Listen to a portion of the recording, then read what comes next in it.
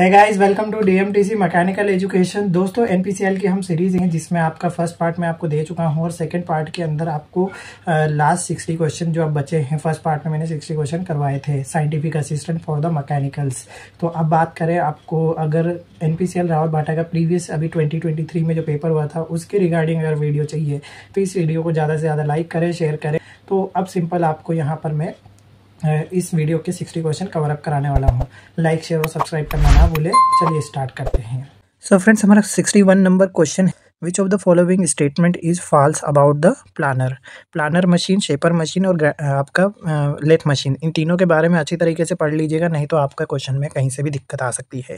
तो जिन्होंने प्लानर के बारे में अगर आपने पढ़ा होगा तो आपका जो है वर्क रेसिप्रोकेट हॉरिजॉन्टली ये राइट होता है।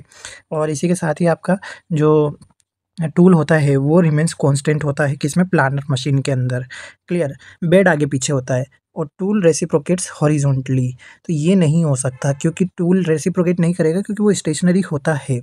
क्लियर तो यहाँ पे ऑप्शन सी जो रहेगा ना, वो राइट होगा। यहाँ पे गलत कथन के लिए बात की गई है। अरे नेक्स्ट क्वेश्चन के ऊपर देखिए दोस्तों, मैं ज़्यादा डिटेलिंग के ऊपर बात नहीं कर सकता नहीं तो वीडियो ज़्यादा लंबा हो जाएगा। यहाँ पे मैक नंबर अगर आपको तीन दे रखा है तो आपको फ्लो कौन सा होगा? सब सोनिक होगा कि सुपर सोनिक होगा कि सोनिक होगा या लेमिनार होगा? चार होते हैं ना, जैसे एक तो आपका सब सोनिक होता है, उसके बाद सोनिक आता है, फिर सुपर सोनिक होता है और फिर उसके बाद में होता है हाइपर सोनिक तो यहाँ पर जो आपको तीन से छः के बीच में अगर देखने को मिलता है तो डायरेक्टली सुपर सोनिक ऑप्शन को राइट कर दीजिएगा। क्लियर इसी के साथ ही the dimensions of a Chezy coefficient अगर आपने चेजी और मेनिंग इक्वेशन पढ़ा है तो आपको पता होगा कि एल की power one by two T minus one यानी कि अंडर रूट एल बटा टी ये इसका नोटेशन होता है। क्लियर तो ऑप्शन सी जो है, वो आपका राइट हो जाता है। क्वेश्चन नंबर सिक्सटी फोर की बात करें which of the following statement is are correct in the grinding wheel selection देखिए ग्राइंडिंग व्हील के ऊपर मैंने डेडिकेटेड आपको वीडियो दिया था। काफ़ी क्वेश्चन बनते हैं तो बिल्कुल मिस ना करें। तो इसका जो राइट आंसर होगा तो ये होता है आपका option number C hard grade के लिए सॉफ्ट मटेरियल का इस्तेमाल किया जाता है। जबकि सॉफ्ट के लिए सॉफ्ट मटेरियल का इस्तेमाल नहीं होता हार्ड ग्रेड के लिए हार्ड मटेरियल का इस्तेमाल नहीं होता है। तो ऑप्शन सी राइट होगा। क्वेश्चन नंबर सिक्सटी फाइव में, जो कि आपका critical radius of insulation for spheres is given by तो स्पेयर के लिए जो क्रिटिकल रेडियस होता है, किसका? इंसुलेशन का, वो क्या होता है? तो यहाँ पर आपको के का मतलब तो थर्मल कंडक्टिविटी होता है और एच का मतलब होता है कॉफिशियंट हीट ट्रांसफ़र कॉफिशियंट होता है ना कन्वेक्टिव वो होता है। तो आपको मैं बता दूँ कि जितने भी आपके हीट कन्वेक्शन रेडिएशन और कंडक्शन तीनों के बारे में अच्छे से और इनके जो लॉज हैं, वो भी अच्छी तरीके से ध्यान रखिएगा। फॉर्मूला जो आपका टू के बाई एच होता है। क्लियर तो ऑप्शन डी राइट होगा। और sixty six question product layout is also known as तो देखिए प्रोडक्ट लेआउट जो होता है ना, वो लाइन लेआउट भी कहते हैं। तो इसके अलावा सिक्सटी सेवन जो कि in the centrifugal pump the water flow leaving the impeller impeller से किस फ्लो में निकलता है? तो वो होता है फ्री वर्टिक्स ये बहुत ही ज़्यादा पूछा जाने वाला क्वेश्चन है तो ध्यान रखिएगा। और इसी के साथ ही आपका सिक्सटी एट क्वेश्चन है the chemical use in general acetylene is तो देखिए केमिकल कोड क्या होता है? सी टू एच टू किसका? एसिटिलीन का, है ना? जिसमें आपका जो है कैल्शियम कार्बाइड का इस्तेमाल किया जाता है। ये क्वेश्चन ध्यान रखना। और जो कि स्पेसिफिक स्पीड अगर मोर देन आपका 300 से ज़्यादा है, देखिए, याद रखिएगा, एक होता है कापलान एक होता है फ्रांसिस और एक होता है पेल्टन व्हील पेल्टन व्हील ऐसे याद रखिएगा, इसका हेड ज़्यादा होता है पीएच है ना? और जिसका हेड ज़्यादा होता है ना, उसकी स्पेसिफिक स्पीड जो होती है, वो बिल्कुल कम होती है। जबकि यहाँ पे 300 से ज़्यादा बोल रहा है तो समझ लीजिए कि कापलान के लिए स्पेसिफिक स्पीड जो है, वो सबसे ज़्यादा है तो ऑप्शन बी राइट होता है। ठीक सेवेंटी नंबर क्वेश्चन की तो मॉड्यूल इज़ एक्सप्रेस इन। देखिए, मॉड्यूल किसमें होता है? गियर्स में होता है है ना? और इसके रिगार्डिंग अगर बात करें आपका नॉमिन के लिए तो आप ये वीडियो ज़रूर देख लीजिएगा। ठीक तो मॉड्यूल का फॉर्मूला क्या होता है? D by T. अब देखिए, टीथ की संख्या तो नॉर्मली संख्या में ही होगा, दो, चार छः तो डायामीटर किसमें होगा? एम mm में ही होगा ना? ठीक है तो ये होगा option A. Question number seventy one में देख सकते हैं interference exist between the interference किसके बीच में होती है? यदि आपने फिट के बारे में और टॉलरेंस के बारे में, इनके बारे में अगर पढ़ा है तो बिल्कुल आपको ये पता ही होगा, इसमें होल बड़ा होता है और शाफ्ट का साइज़ छोटा होता है। तो देखिए higher limit of the hole and lower limit of the shaft तो ये सी राइट हो जाता है। Which of the following arc welding method is use for the thin sheets के लिए? कितनी पतली शीट्स के लिए इस्तेमाल करते हैं? एज वेल एज ये डिफ़िकल्ट टू एक्सिस पोजिशन में होती है। तो ध्यान रखिएगा, यहाँ पे शॉर्ट आर्क वेल्डिंग जो लिखा होता है ना, ये इसका राइट आंसर होता है। शॉर्ट आर्क वेल्डिंग को जो है, बहुत ही डिफ़िकल्टी से यूज़ किया जाता है, जबकि ये थिन शीट के लिए काम में लेते हैं। तो ऑप्शन ए राइट होगा। क्वेश्चन नंबर सेवेंटी थ्री देख सकते हैं। A body throw vertically upward with an initial velocity पंद्रह मीटर पर सेकेंड स्क्वायर दे रखी है।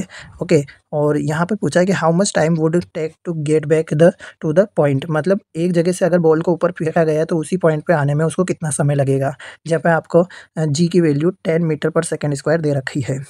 ठीक? तो आप ये सॉल्यूशन देख सकते हैं। गिवन है आपका फाइनल वेलोसिटी ज़ीरो है और इनिशियल वेलोसिटी जो है वो पंद्रह मीटर पर सेकेंड स्क्वायर है। तो हमें पता है कि फ़र्स्ट इक्वेशन जो कि होता है मोशन का, उसमें आपका U is equals to V plus at होता है। ठीक है? तो यहाँ पर आप सिंपल सा अगर कैलकुलेशन करेंगे तो आपको आ जाएगा टाइम आपका वन पॉइंट फाइव सेकेंड। अब जैसा कि आप देख ही सकते हैं कि इनिशियल तो पता है, फाइनल नहीं पता है। तो आप ये मान लीजिए कि नीचे से ऊपर जाने में और ऊपर से नीचे आने में टाइम तो लगेगा, उतना ही जितना ऊपर गया, उतना ही नीचे। तो टू टी हो जाएगा, टाइम का दुगना हो जाएगा वापस नीचे आने में। एक तरफ़ का टाइम तो हमें पता ही है तो टू टी टी से मल्टीप्लाई करेंगे तो थ्री सेकेंड आपका राइट आंसर होता है। तो टोटल जो यहाँ टाइम लगेगा, वो आपका तीन सेकेंड राइट होता है। Question number seventy four the size of the grinding wheel is represent by देखिए ग्राइंडिंग व्हील के लिए जो यहाँ पर दिया गया है ना, वो व्हील डायामीटर थिकनेस और होल साइज़ देखिए, आप देख सकते हैं, ये ग्राइंडिंग व्हील है, ये होल है। तो इसका एक तो डायामीटर पूरा का पूरा यहाँ से लेकर यहाँ तक। इसके अलावा इसकी थिकनेस भी होगी, है ना? और इसका होल का साइज़ जिसके अंदर हम फिक्स करते हैं वेल्डिंग मशीन जो आपका ग्राइंडिंग मशीन का हब होता है वो स्पिंडल ठीक तो इसीलिए ऑप्शन ए राइट होगा। क्वेश्चन नंबर सेवेंटी फाइव में देख सकते हैं इन ऑटोमोबाइल्स हुक ज्वाइंट आपने अगर गाड़ी ट्रक देखे हैं तो आपको पता होगा कि जहाँ पर आपका प्रोपेलर लगा होता है ना, और ये डिफरेंशियल लगा हुआ है, और आगे तो आपका इंजन ही होता है तो इनके बीच में ही आपको हुक ज्वाइंट देखने को मिलता है। तो इसके लिए आपका गियर बॉक्स और डिफरेंशियल सी ऑप्शन राइट होगा। सेवेंटी सिक्स पे देख सकते हैं which of the following is an example of a sliding pair देखिए स्लाइडिंग पेयर में आपको square bar in the square hole तो इसका मतलब क्या हो सकता है? एक होल में से अगर मैं सिर्फ़ और सिर्फ़ स्क्वायर वाली ही करूँगा तो इसको मैं बस आगे पीछे ही तो कर सकता हूँ, और तो कुछ कर नहीं सकता, घुमा भी नहीं सकता तो ये सिर्फ़ और सिर्फ़ एग्ज़ाम्पल होगा स्लाइडिंग पेयर का, इसलिए ऑप्शन है राइट होगा। Question number seventy seven which of the following not in not a case hardening process case hardening का प्रोसेस इनमें से वो कौन सा? नहीं है। तो देखिए आपका नॉर्मलाइजिंग और एनिलिंग ये दोनों ही केस हार्डनिंग में नहीं आती जबकि साइनाइडिंग आती है। नॉर्मलाइजिंग और एनिलिंग जो होता है ना, वो ग्रेन स्ट्रक्चर को अच्छा करने के लिए और स्ट्रेसेस को रिमूव करने के लिए काम में ली जाती है। Clear question number seventy eight clearance ratio should be increase for bearing of diameter less than कहने का मतलब ये है कि डैश कम व्यास के असर के लिए क्लियरेंस रेशियो बढ़ाया जाना चाहिए। तो कितना बढ़ाया जाना चाहिए? सिर्फ़ और सिर्फ़ zero point one meter clear ये क्वेश्चन ऐसे हैं जो आपको पता होने चाहिए। एग्ज़ाम में कई बार पूछ लिए जाते हैं। क्वेश्चन नंबर सेवेंटी नाइन आप देख सकते हैं। In a single point cutting tool turning operation of steel with a cemented carbide tool cemented carbide tool Taylor's life अगर आपको ज़ीरो पॉइंट टू फाइव दे रखी है if the cutting speed is half जो कटिंग स्पीड है वो half है the tool life will be increase. दोस्तों, ये क्वेश्चन ऐसा है, किसी भी आप एन के पेपर में देखना, दस में से नौ बार पूछेगा ही पूछेगा और इसका डायरेक्ट आंसर होता है सिक्सटीन टाइम्स। तो जैसा कि आप देख सकते हैं, Taylor's life tool life equation यहाँ पर आपको दी गई है। तो टूल इसके लिए इक्वेशन क्या है? वी टी के power N is equal to constant ठीक है एक्सपोनेंशियल जो दे रखा है, आपको एक्सपोनेंट दे रखा है एन की value zero point two five दे रखी है। कटिंग स्पीड रिड्यूस कर दी गई है फिफ्टी डिग्री तक, है ना? और इसी के साथ ही आपका टू फाइंड न्यू लाइफ तो इसके लिए V one T one T two V two ये आपको देखने को मिलेगा। वी का मतलब है आपका कटिंग स्पीड और जो कि टी का मतलब है टूल लाइफ है ना? तो वी टू कितना हो जाएगा? Zero point five V one according to condition आपको दी गई है। वी टी के पावर एन हमने फॉर्मूले में सेट कर दिया। वी वन टी वन तो ऐसा कैसा ही है। Zero point five V one V two N यह सब हमने यहाँ पर इक्वेशन बना दी है अब जैसे ही आपका T two by T one की पावर एन होगा तो यहाँ पर आप देख सकते हैं ज़ीरो पॉइंट फाइव की पावर माइनस वन मतलब ये बटे में भी हो सकती है वन पॉइंट वन बटा ज़ीरो पॉइंट फाइव बराबर क्या होगा? दो हो जाएगा। तो इस हिसाब से T two by T one और दो की पावर एक बटा ज़ीरो पॉइंट टू फोर हो गया। तो टोटल यहाँ पे वैल्यू आपको सिक्सटीन देखने को मिलती है T two by T one तो टी टू की वैल्यू क्या होगी? सिक्सटीन टी वन इसीलिए आपका ये सिक्सटीन टाइम्स होता है। क्लियर तो नेक्स्ट क्वेश्चन एटी है फॉर एन एब्सोल्युटली वाइड और स्पेकुलर बॉडी देखिए, आपको ब्लैक बॉडी और वाइट बॉडी के बारे में पता होना चाहिए कि यहाँ पर एब्जॉर्सिविटी रिफ्लेक्टिविटी और आपका ट्रांसमिटिविटी ओके तो ये आपका क्या क्या होता है? तो इसके लिए जो राइट आंसर होगा ना, वो होगा बी जो कि रो की वैल्यू वन होती है और अल्फ़ा और टी जो होता है ना, वो बराबर ज़ीरो होता है। ठीक? तो ये ऑप्शन भी राइट होगा। नेक्स्ट क्वेश्चन है question number eighty one L V D T has देखिए एल वी डी टी का फुल फॉर्म क्या होता है? ये होता है लीनियर वेरिएबल डिफरेंस ट्रांसमीटर ठीक है? तो इसमें जो होता है ना वन प्राइमरी कोयल होती है और टू सेकेंडरी कोयल्स होती है। ये काफ़ी ज़्यादा जो है एनपीसीएल में पूछा जाने वाला क्वेश्चन है। क्लियर और इसी के साथ ही एटी टू देख सकते हैं केमिकल फॉर्मूला ऑफ़ एसिटिलीन देखिए, मैंने अभी ऊपर ही बताया था तो सी टू एच टू ध्यान रखिएगा। और इसका कलर कोड भी पूछ लिया जाता है वेल्डिंग से रिलेवेंटली पूछा जाता है। और इसी के साथ ही आपका एटी थ्री जो कि the theory of failure applicable to brittle material is तो ब्रिटल मटीरियल के लिए वो कौन सी फेलियर एप्लीकेशन थ्योरी कौन सी होती है? है ना? तो ये होगी आपका मैक्सिमम प्रिंसिपल शेयर स्ट्रेस देखिए, चार होती है, ठीक है, जो कि रेंटकाइन होता है और हैग्स लो होता है और आपका जो कि गैस एंड ट्रेस का होता है। तो यहाँ पर जो ये रेंटकाइन वाला जो है ना maximum principal shear stress stress theory होती है, ये होता है। Question number eighty four short circuit transformer in M I G welding also known as तो देखिए, इसको क्या बोलते हैं? ये होता है आपका डीप ट्रांसफ़र ठीक है? ये मैंने हमारी प्रीवियस वीडियोज़ में भी मैंने आपको बताया था, है ना? नेक्स्ट क्वेश्चन है eighty five which of the following alloy contents nickel किस, कौन से एलोए में निकल कंटेंट होता है? तो ये होता है ऑल ऑफ़ द अबव जो कि इनकोनेल इनवार और जर्मन सिल्वर तीनों में आपको निकल मिलेगा ही मिलेगा। तो यदि आपने प्रीवियस वीडियो मैंने आपको लिंक दिया था कि आपको जो एलॉइज़ के मिक्सर है, उनके ऊपर मैंने डेडिकेटेड वीडियो दिया है। ठीक है? तो प्रीवियस वीडियो ज़रूर देख लेना, उसमें आपको वीडियो आई कार्ड में देखने को मिलेगा।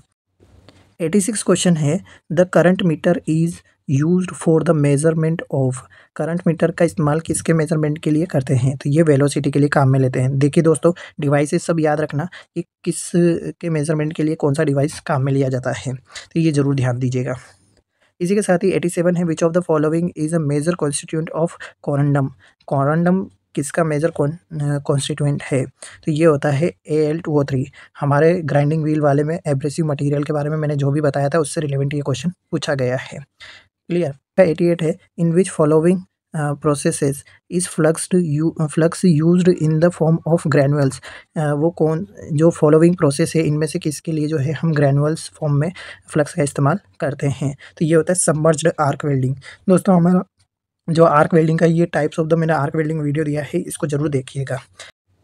नेक्स्ट क्वेश्चन है एटी नाइन जो कि spherical pair process dash degree of freedom देखिए थ्योरी ऑफ़ मशीन का डिग्री ऑफ़ फ्रीडम को अच्छी तरीके से ज़रूर पढ़ लीजिएगा। देखिए स्पेरिकल पेयर जो होता है ना, ये आपके तीन तरीके से होता है। Question number ninety which of the following is are common source of light use in the interferometer ठीक है कहने का मतलब इंटरफेरोमीटर में प्रयुक्त लाइट प्रकाश का सामान्य स्रोत निम्न में से कौन सा होता है?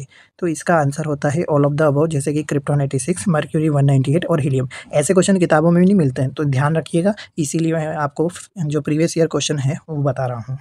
और इसी के साथ ही आपका ninety one which of the following law states that when the system is zero absolute temperature the entropy of the system is zero ठीक है? तो ये कौन सा लो कहता है? तो मैंने आपको बताया था थर्मोडाइनमिक के जो कि तीन लो तो आपको वैसे ही बताए थे ज़ीरो लो फ़र्स्ट लो और सेकेंड लो उनके बारे में मैंने आपको बता दिया था कि आपका टेम्परेचर से रिलेवेंट है ज़ीरो लो तो ये होगा आपका टेम्परेचर और फ़र्स्ट लो जो होता है ना, वो इंटरनल एनर्जी के बारे में बताता है। सेकेंड लो जो होता है, वो एंट्रोपी के बारे में बताता है। तो बच्चा सिर्फ़ और सिर्फ़ थर्ड लो जो कि आपका एब्सोल्यूट टेम्परेचर के बारे में बताता है। एटी ठीक? तो ऑप्शन डी राइट होगा। Question number ninety two for the sum comparison compression ratio the efficiency of dual combustion cycle is अगर सेम कंप्रेशन रेशियो बोल रहा है ना तो ऑटो साइकिल तो ड्यूल साइकिल से ज़्यादा होगा इफिशियंसी बट डीजल साइकिल की ड्यूल साइकिल से कम होगा। तो देखिए, यहाँ पे कहाँ लिख रखा है? लेस देन ऑटो साइकिल किसकी? ड्यूल साइकिल की, और ग्रेटर देन डीजल साइकिल से ज़्यादा होगा। तो ऑप्शन सी राइट होता है। दोस्तों फेवरेट क्वेश्चन हमारी जो वेल्डिंग सीरीज़ में मैंने आपको बताया था, जहाँ की आपका आर्क वेल्डिंग के अंदर जो टेम्परेचर प्रोड्यूस होता है ना, वो छः हज़ार से सात हज़ार होता है। बिना देखे देख लीजिए।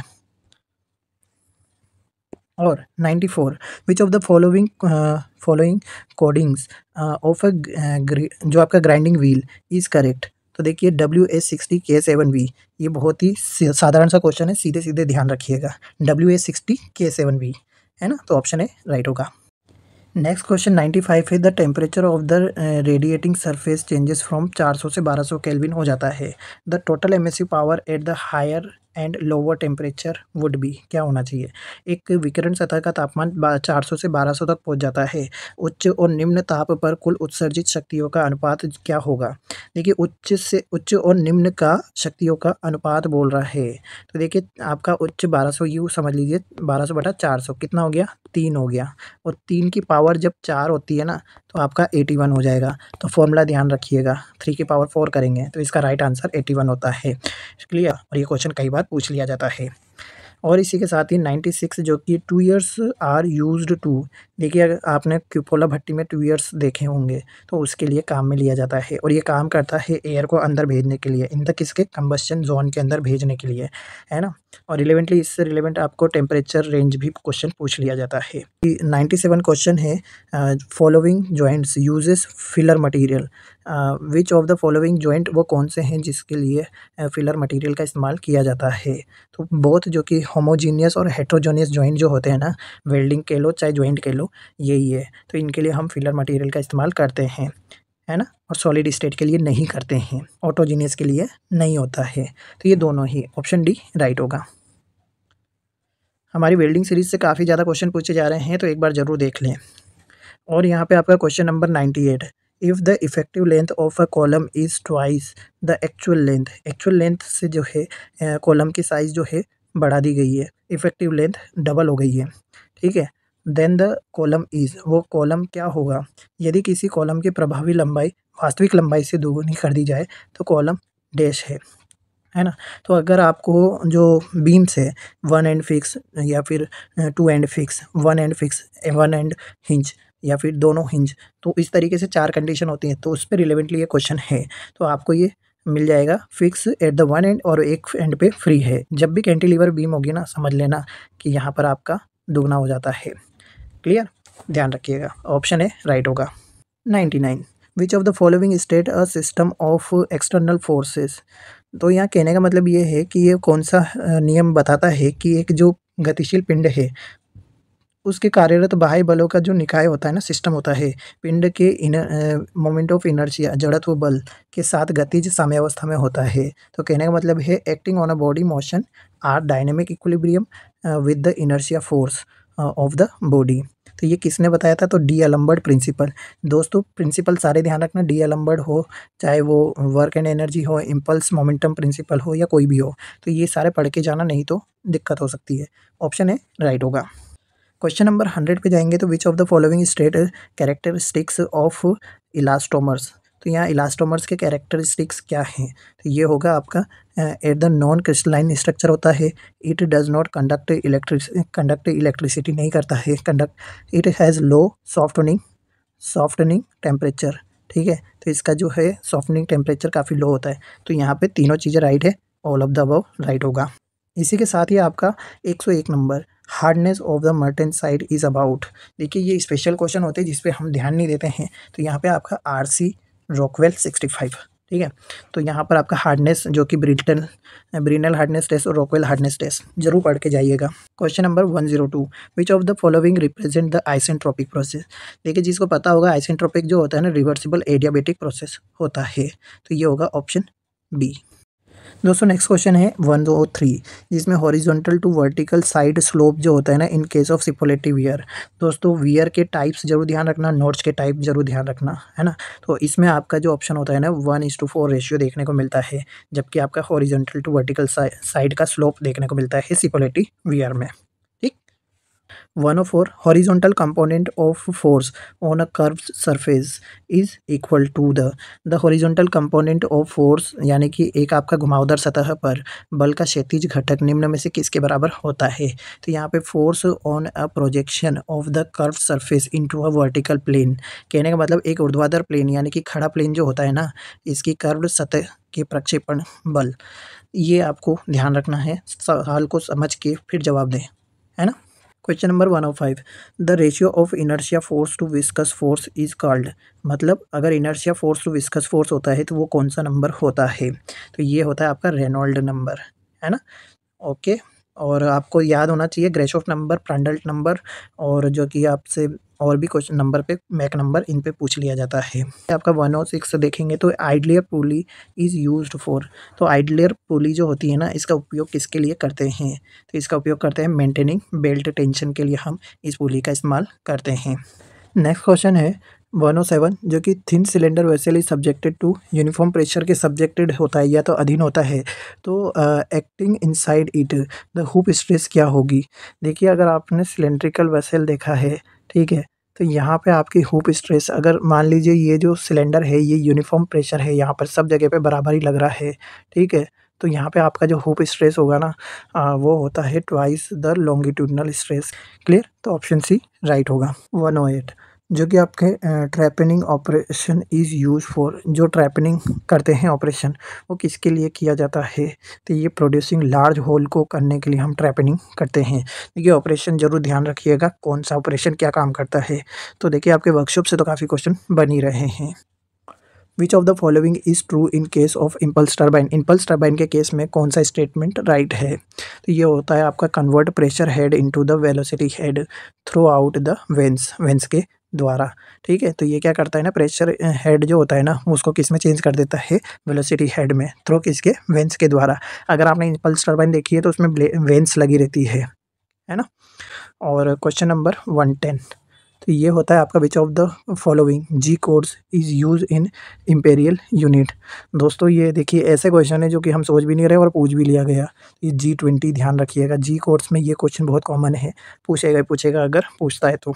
वन एलेवन जो कि इन्वेस्टमेंट कास्टिंग पैटर्न जो है मेड ऑफ़ किसका बना होता है? तो ये वैक्स लॉस्ट वैक्स प्रोसेस होता है इन्वेस्टमेंट कास्टिंग क्लियर तो ध्यान रखिएगा। जबकि आपका और भी क्वेश्चन स्लस कास्टिंग इनसे भी पूछ लिए जाते हैं। Question number one twelve a perfect frame जो जिसके हैज़ एन जॉइंट है the number of member should not be less than तो कम नहीं होने चाहिए। ठीक है? तो इसका मतलब यहाँ पे ऑप्शन जो होगा ना टू एन माइनस थ्री ये फॉर्मूला याद रखना थ्योरी ऑफ़ मशीन में। है इसका क्वेश्चन और question number one one three which of the following is an example of thermosetting thermosetting plastic urea formaldehyde ठीक? और इसी के साथ ही question number one one four Davis steering gear consist of देखिए एकरमैन स्टेयरिंग गियर और Davis steering gear दोनों के बारे में ज़रूर पढ़ लेना, अच्छे से समझ में आएगा। तो इसमें स्लाइडिंग पेयर होता है, जबकि आपका जो एकरमैन होता है ना, उसमें रोलिंग पेयर दोनों में से एक क्वेश्चन बनता ही बनता है। ऑप्शन ए राइट होगा। Question number one one five velocity ratio of third system pulley pulley के तीन सिस्टम होते हैं। ठीक? तो यहाँ पे ऑप्शन नंबर जो होगा सी राइट होगा। वन वन सिक्स जो है question the process of fix different link of a kinematic chain one at the time the produce distinct mechanism is called कहने का मतलब एक विशिष्ट तंत्र का निर्माण करना है सिस्टम का निर्माण करना है एक समय में एक एक करके काइनेमेटिक चेन के लिंक को जो है ठीक करने की प्रक्रिया को क्या कहते हैं?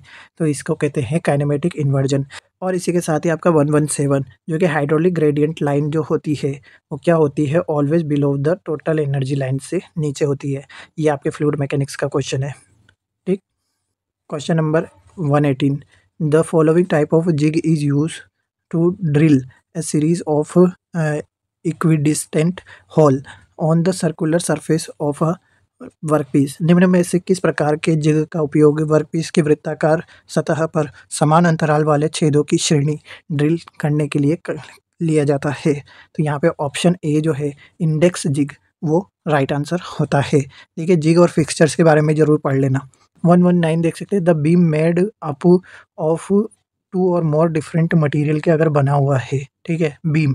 तो इसमें अजम्पन assume to be rigid connected together is known as ठीक है, कहने का मतलब दो या दो से अधिक अगर सामग्री से कोई बीम बना हुआ है तो एक साथ कढ़ाई से जुड़ा हुआ माना गया है। तो इसे क्या कहते हैं? तो इसे कहेंगे हम फ्लिट्सड बीम ये क्वेश्चन ध्यान रखना।